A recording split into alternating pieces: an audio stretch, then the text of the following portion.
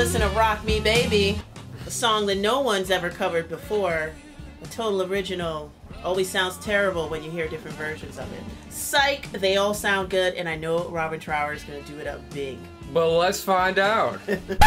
What's up, guys? It's us, the Sight After Dark, aka SAD, back at ya with another reaction. This time we are listening to Rock Me Baby by Robin Trower, which is gonna be awesome. We just know it. So let's hear it.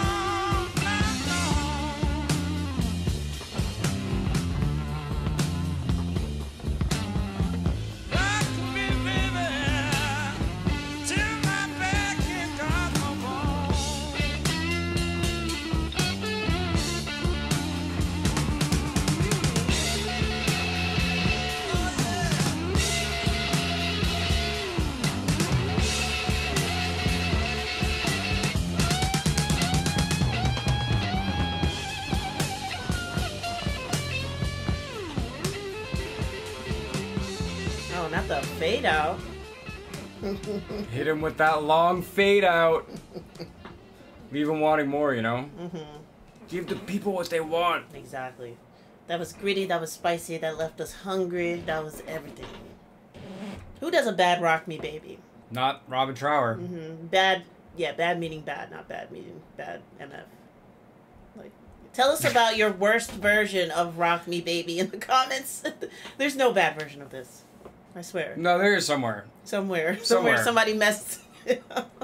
But about this version in particular, so obviously Robin knows how to make that guitar scream. Whew. It's like you don't even need. I feel like most of his songs, the vocals are just like, oh, we'll just throw it. You don't even really need it most of the time because the guitar is clearly the star. I mean, that's why this is Robin Trower. It's not a band. It's under his name, and he's not the singer. But the singer does kill it though. That's the thing He that's does. also funny. Yeah. When he sings the "Rock Me Baby" and the guitar goes, they're at like the same tone and the same vibe Yeah. together. It's just it, it it makes a sound in itself, which is just amazing.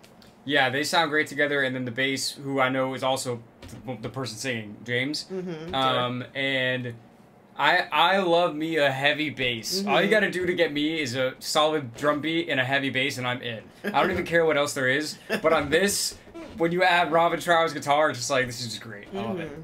So good. Hell yeah. Short and sweet to the point, like a cool blues song. I really loved it. I really dug it. I'm just being silly. I have nothing else to say, but this was great. Like, I yeah, mean, it's what, real else, nice. you know real what- nice. what else do I say? It was just amazing. I just love James's tone of singing. I love Robin's tone of playing. I mean, I'm just re, I'm just reiterating what I just said.